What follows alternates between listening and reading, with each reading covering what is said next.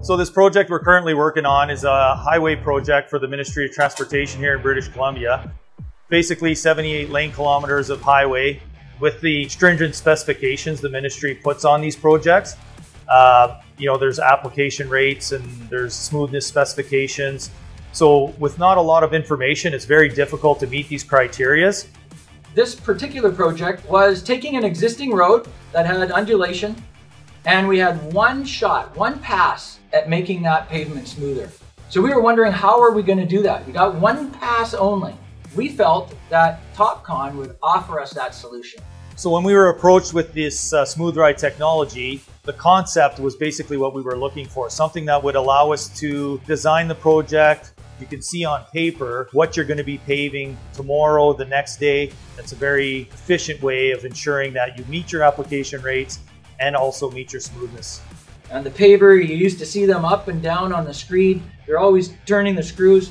There's none of that anymore. The design's been set.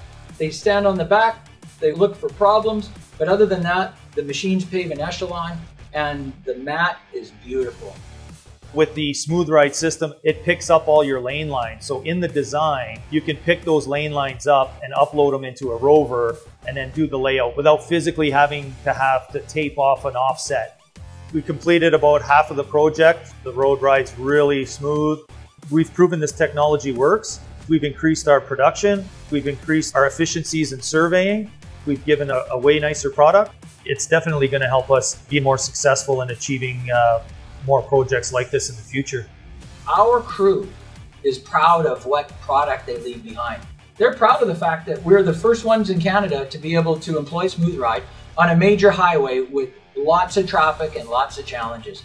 We've had so many encouraging comments from the traveling public who don't even know anything about pavement that say that's the smoothest ride they've had in a long time.